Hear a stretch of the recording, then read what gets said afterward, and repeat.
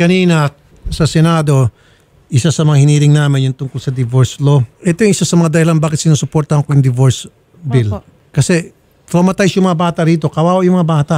Paglaki ng mga bata, kung ipagpapatuloy to, ganito na lang palaging pangyari, bugbugan, palagi na bubugbog si nanay, paglaki ng bata, maapektuhan yung kanyang kalusugan mental.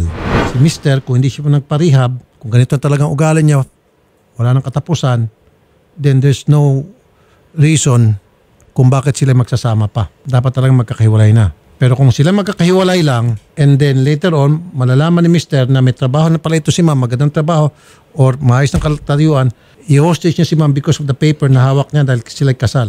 Pwede pa rin siyang gumawa ng kabalastugan sa misis niya. So, and I'm supporting the divorce bill. Marami ang sumasang-ayon, iba't ibang ahensya ng gobyerno, iba't ibang NGOs, iba't ibang mga asosasyon, Opo.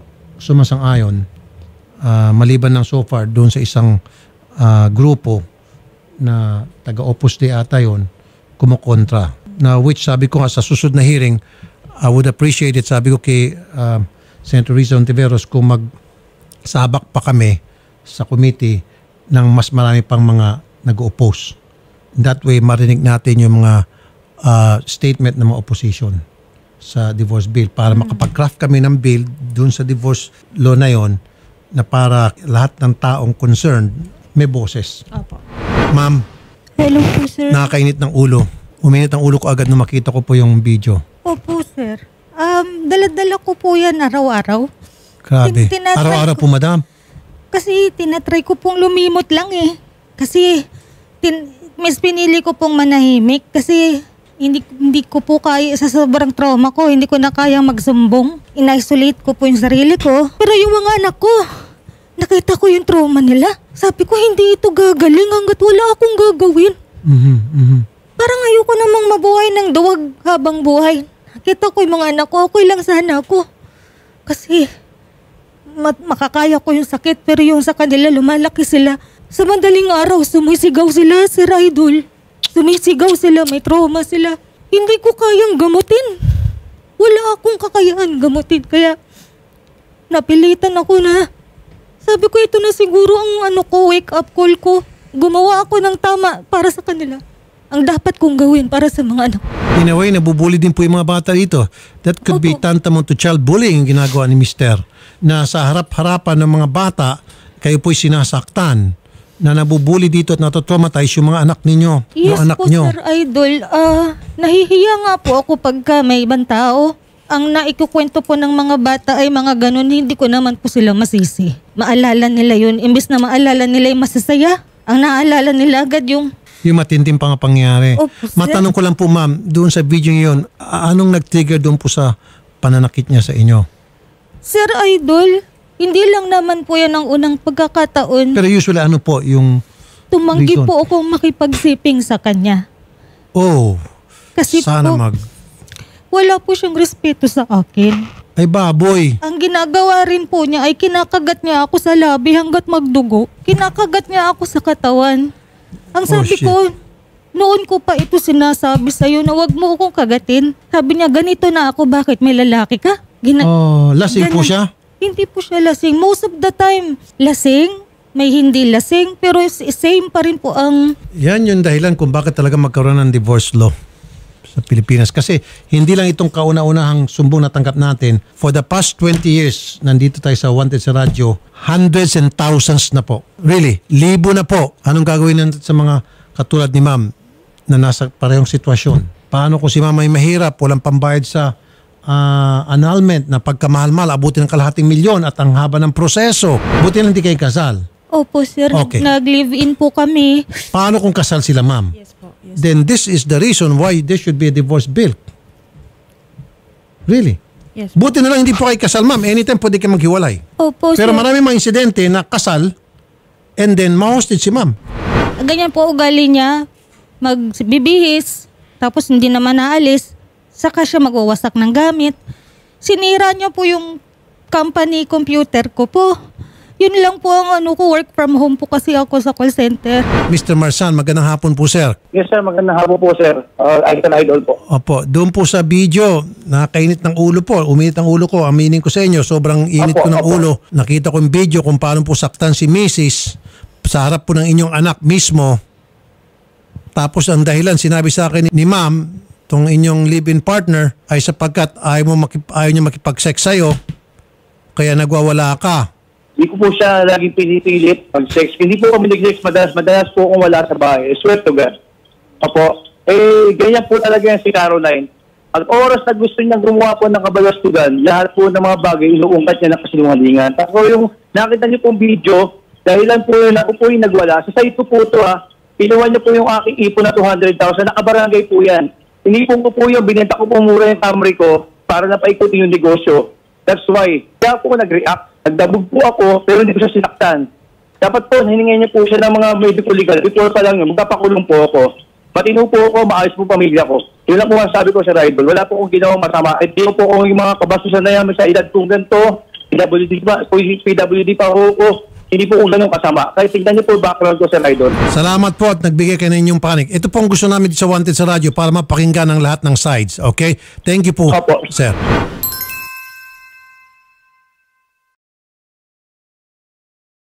Ma'am, 200,000 daw po ang inyo pong ah, kinupit kaya nagwala po siya. Pero again, hindi po din sapat na dahilan yon na para magwala siya doon sa 200,000 na pagkupit nyo.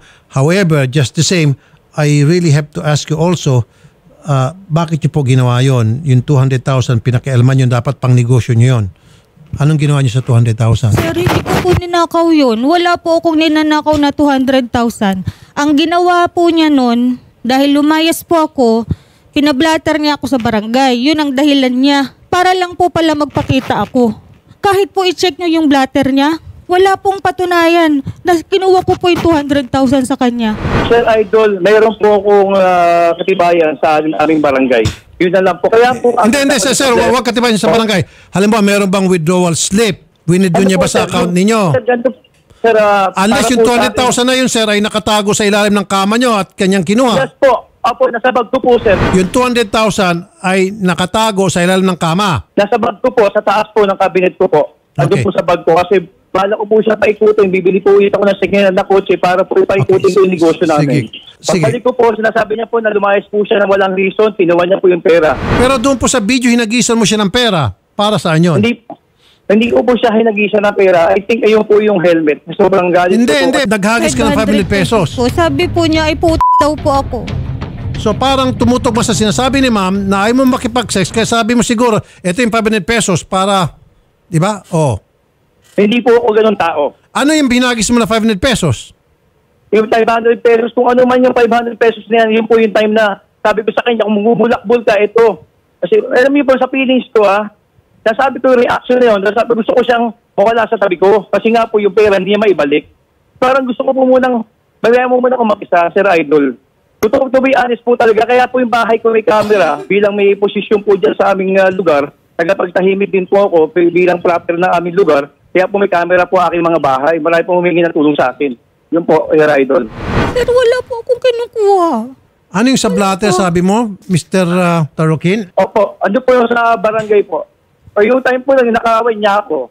Hindi ko maintindihan, pag munang utak ko. Kaya sabi nung advice sa akin, huwag kang munang patanga-tanga, pablatter mo na. Pero sir, may point din si ma'am eh, na maaring ginamit mo lamang yung pagpapablatter na wala ka naman talagang sapat na ebidensya para meron kang ah, dahilan upang siya pabalikin sa'yo at kapag siya Totoo bumalik, yun. makagawa ka na ng gusto mong gawin. Totoo po yun, sir. Sir Idol, ano, sinungaling ka. Hindi na po Wait, niya ako pinauwi nun.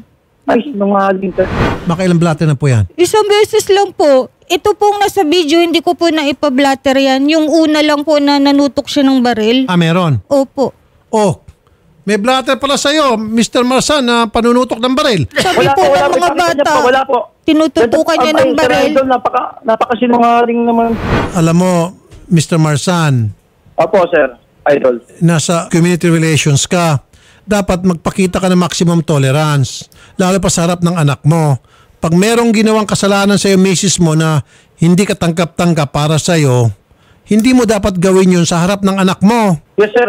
Idol, opo. Alam na alam ko po yan. Oh. Bilang isa po ko sa mga, ano po, ng aming lugar. Oh, Sa- binayolate mo yung po. binayolate mo yung rule mo na alam na alam mo pala na huwag ka manakit ng iyong ah, ah, girlfriend o kinakasama sa harap ng anak mo. Ikaw na mismo nagsabi na alam na alam mo wala dapat taong gumagawa ng pananakit ng isang nanay sa harap ng anak. In this case, ginagawa mo. Tagapamayapa ka pa man din, di ba? Mananakit ka ng live-in partner mo sa harap ng anak niya, anak ninyo. Sir Idol, hindi po ako nanakit. nanakit. Pagtutulak mo, pagsisigaw mo sa miss sa live-in partner mo. Anong tawag mo doon? Sir Idol, marami po akong witness na hindi po ko ganun katao. Pakita ganun mo nga yung video one more time. Kita mo, nandiyan yung bata o nagwawala ka, nag-iskandalo ka. O. O yan, o yung bata umiyak na, o. Nagwawala ka. Sa harap ng anak mo siya, nagwawala ka, nag-iskandalo ka. Dapat, pag meron kayong away na mag-asawa o mag-partner, wag dapat sa harap ng bata. Sa loob ng kwarto, magsigawan kayo, wag sa harap ng bata. O yun, tinulak-tulak mo siya. Parang gusto mo pa atang bumunot ng baril Yes po, sir. Nandyan po yung baril niya sa bag. sa bag. Opo, lagi po niyang dala yan. Oh, nag nag-akma ka pang bubunot ng baril, sir. Hindi po, sir. Hindi po ako ganun tao, Sir Idol. Swear to God. Sir. Sir, Sabihin ko po yung sir, side ko. sandali sir, kitang-kita sa video na akmang bubu may bubunutin ka sana sa bag. Kitang-kita akmang may bubunutin ka sana sa bag. Ayan, oo, oo. Matapos mo may tulak, umatras ka, abante sana itong si Baby Caroline, bubuksan, yan, oh. Boom! Yun, stop. Yan po. Bubuksan ang- mo yung zipper, tapos parang may gusto kang bubunutin. Oh, baril yon, May baril ka sa loob ng bag mo. May lisensya bang baril mo, sir? Wala. Lisensyado, sir. Lisensyado po. May PTC yun. Anong klaseng baril ba yan? Yung nasa bag mo. Anong klaseng baril yan? Amscore lang, sir. Amscore lang po, sir. Amscore, yung baril na yon. Opo. Anong Opo, kulay sir. ba yung Opo. baril na yon? Yung bubunutin mo sana. Anong kulay anong kulay noon? Ah, Itim lang po, sir. Itim lang yon, yung bubunutin mo sana. Opo, opo sir. Opo, sir. O, kita mo. So, ibig sabihin, baril ka talaga bubunutin mo sana. Sir, Huli sir. Idol. Bubunutin mo sana, kaya na napigilan mo sarili mo. Hindi mo dapat gagawin yun kapag merong away ka, may kaaway ka, pwede sa labas o sa loob ng pamamahay mo, hindi mo akbang bubunutin ang baril mo. Paano kung talaga natuluyan mo bubunutin yon? Ungas! Idol, hindi po, sir. Ba't po yung video, sir? Yung umalis po siya, dala niya yung video. Para makita yung buong kabuuan. Sir, buti nga may dala siyang video para para naman sir makita kung sino nagsasabi sa inyo yung totoo, hindi. Yung video niya po, yung video na yan, kinuha niya. Hindi po ng away ngayon. Tama lang yan. na kunin niya yung video para para dito makita namin kung nagsasabi siya ng totoo hindi. Dito napatunayan na lahat mga sinasabi niya ay totoo. Yung panic ko Kasi kung wala siya dalawang video sir, edi walang value yung sasabihin niya sa amin. Oh, sir, alam po ni Caroline gano'n ko siya kamahal. Caroline, alam mo naman, di ba, kung anong problema natin dalawa. Kung ibalay na tayo na maayos at lakarin, ako na bahala sa kay Mariana. Pinapangako ko siya, hindi ko kaya pababayaan. Yun ang papapangako ko siya bilang matinong tatay at maayos na tatay simula nagsama tayo. Huwag na natin pala, palalain to kasi maladama yung trabaho natin pareho. Nakakaya sa pamilya natin. Sorry. Kung ano man yung nagawa kong ah, mga bagay na bisa na pagsasabihan kita pag umaalis ka, patawarin mo kasi nag-aalala ko bilang partner mo. Yun lang, wala nang iba. Patawarin mo ako. Pag-usapan na sa bata, wala nang idadamay na iba. Pangako, hindi ko kayo pabayaan kahit wala na ako sa piling nyo. Kapag mainit daw po ang ulo mo, Mr. Marsan, pati yung bata, pinagbubuntungan mo. Yan po yung Ay, hindi po, pictures, Sir Idol. Idol. Hindi po, hindi po. May mga ah, sugat po sa tenga at dun po sa baba. Ayan po sa Kanino leg. sugat po. yan? Dun po sa anak po ni... Anak ko po yan sa una, Sir Idol. Ah, ayan, may mga sugat. O yan, yung bata. Hindi. Ala, kasi po yung medical po. Hindi ko po sinaktan yan. Abi, ba, Sir ano, Idol, anong yan sa mga sugat nitong mga bata sa bibig at sa leg? Sinusuntok daw po siya sa Ay, tiyan. sinungaling. Tapos eh, pag Ay. gusto niya magmano, inuumpog siya Ay. sa pader. Ay, ay sinungaling po. Ay, Hindi ko nako, ng nako, kwento, nako, Sir- nako, Sir nako. Idol, hindi ko po gina- Ay, nako, Marsan, na Marsan, Marsan. Put. Ay, Hindi ko po hindi. ginawa yan. Ay, hindi, hindi. Nope, nope. Nope. Tapos pakita niya po Ay, yung nako, medical sa nako. Marsan, na Marsan, Kaya- patatanggal kita. Walang yaka. Umuwi po ako sa, galing po ako opisina sa call center, madaling araw. Pag uwi ko, puro pasa. Sabi niya, umihi Anak mo mag-isa. po sa una to, ma'am. Opo, umihi mag-isa sa banyo yan, nadulas. Napapansin ko lumalambot po yung bumbunan. Eh, 4 years old na po siya. Opo. Kaya pina-MRI ko. Meron nga pong blunt trauma dito sa may noo.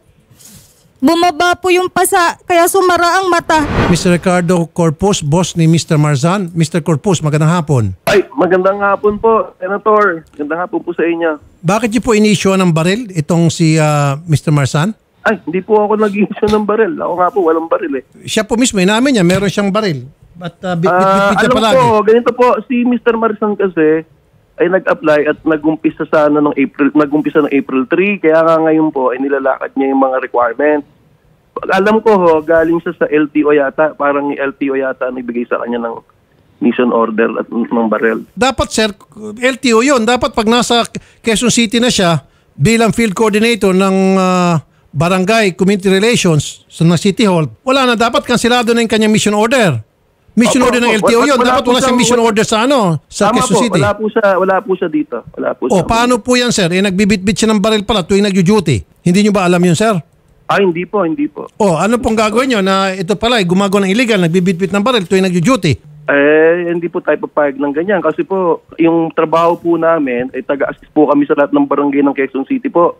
Oh. Eh, mga, mga coordinator, eh, taga-bigay ng mga memo, Oh. taga-paba ng mga programa, at ah, wala pong halong baril po yun. O katulad po Ah, nito, nagbibitbit siya ng baril. So, so ano pong parusa? Pagka ganyan po, eh, hindi po siya pwede sa aming departamento sapagkat magiging malaking kahiyan po siya ng ating city government pag ganyan.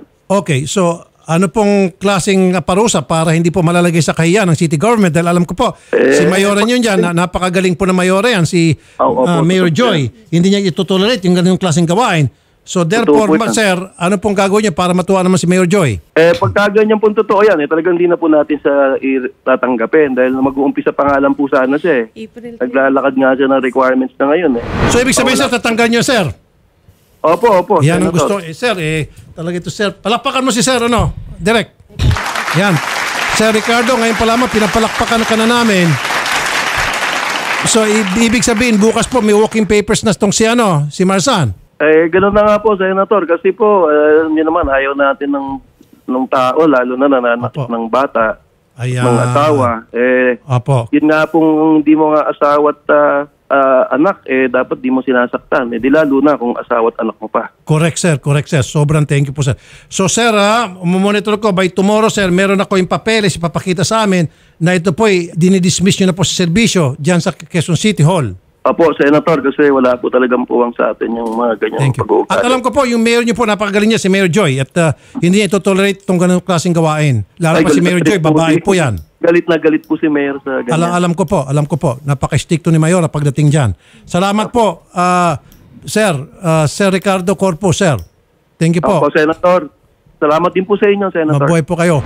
Police Lieutenant Colonel Morgan Aguilar, Station Commander, Station 6 QCPD. Colonel Aguilar, magandang hapon po, Sir, Colonel. Good afternoon, Senator Tulfo, sir. Opo, meron po kami papakita ng mga video pag pumunta po kami dyan. Samahan namin po ito si Ma'am Baby Caroline. So paki-assess lang po kung anong mga kasong pasok na pasok po na pwedeng may file against dito po kay uh, Mr. Marsan, Colonel.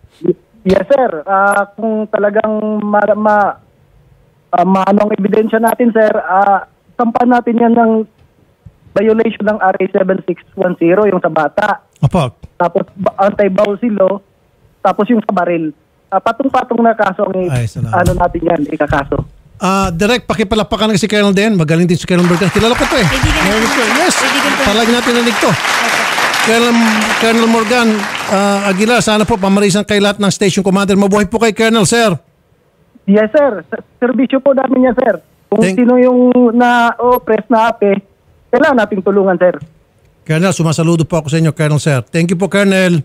Opo, sir. Ah, walang anuman po, sir. Thank you po. Marsan. Yuhu, Marsan. Yes, sir. Wala ka ng trabaho bukas. Paano yan?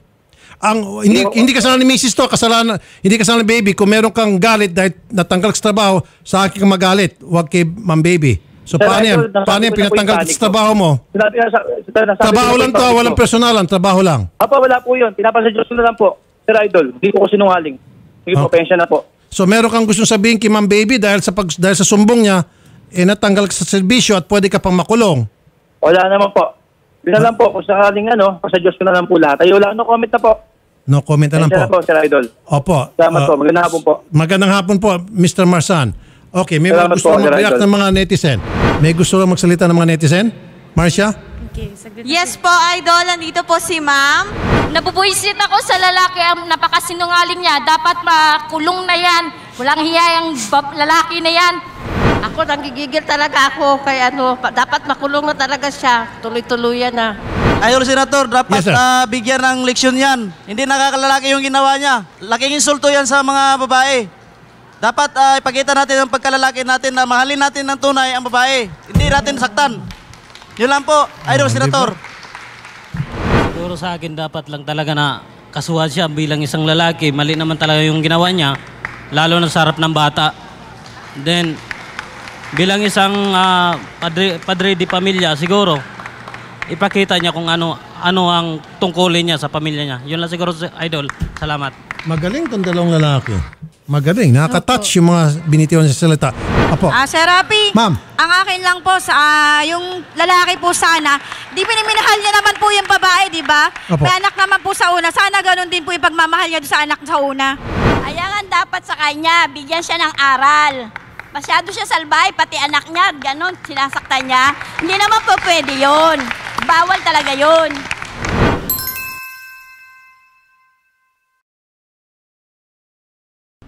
At ma'am, kakampi nyo. Walang kumampi dito kay mister, kay lalaki.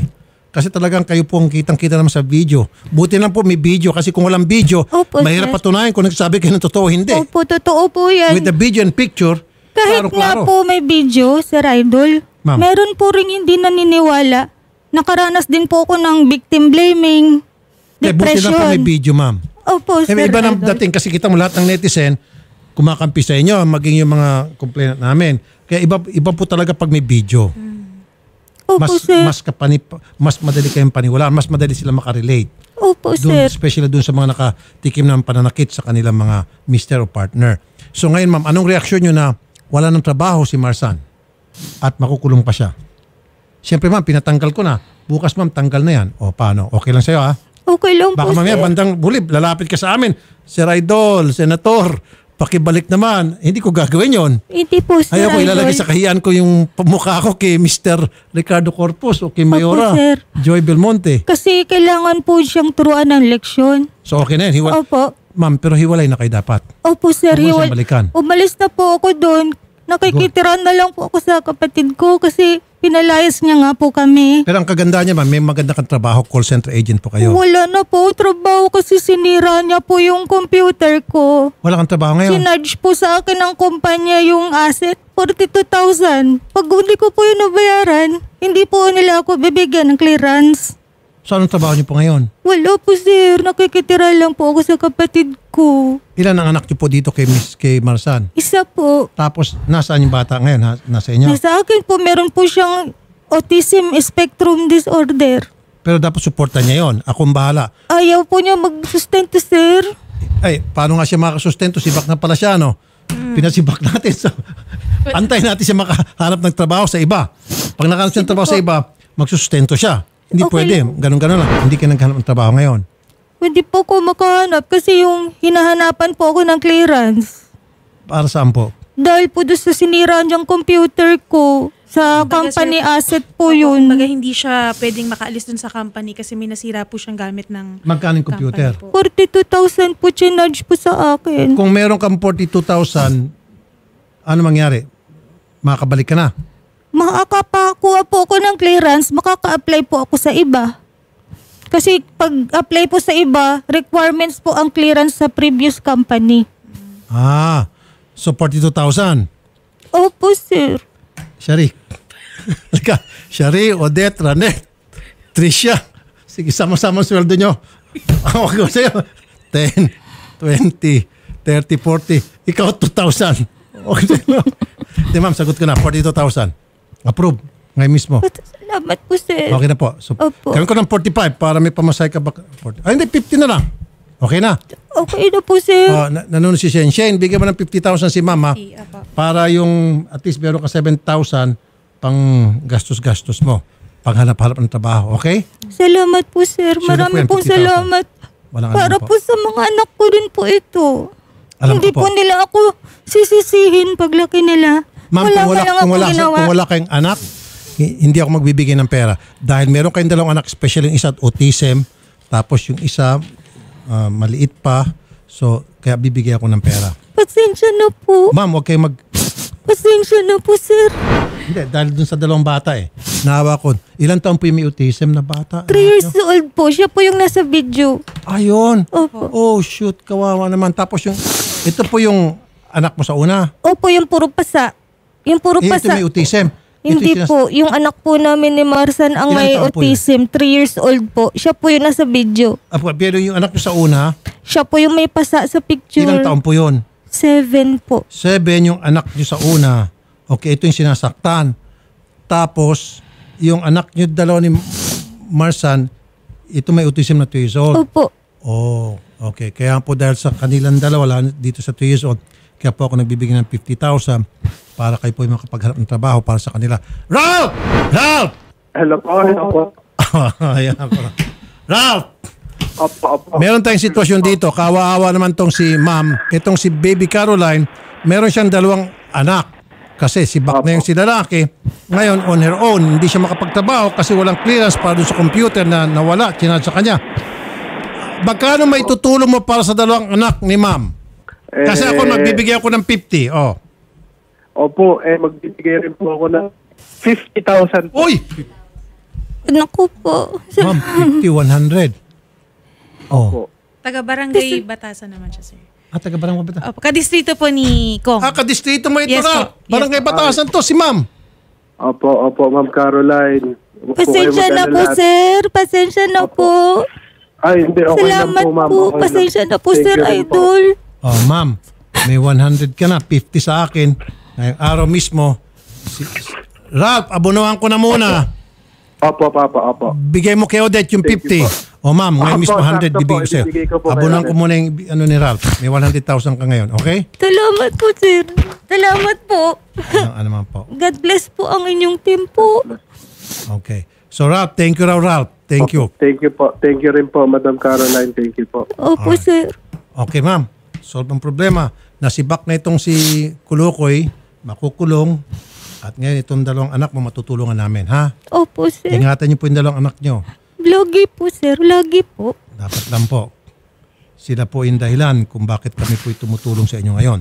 Opo, sir. Okay? Sige po. Magandang hapon po. Magandang At saka hapon. siyempre, tutulong din po kami doon sa ginawang pananakit. Pero more on financial dahil po doon sa dalawang anak nyo. Opo, sir. Nakikita ko po kailangan nyo talagang financial assistance dahil lalo, lalo dito sa anak nyong autism. Opo, sir. Okay? Salamat po. They, because he needs special care. Okay. Thank you po ma'am. Thank you po, sir idol.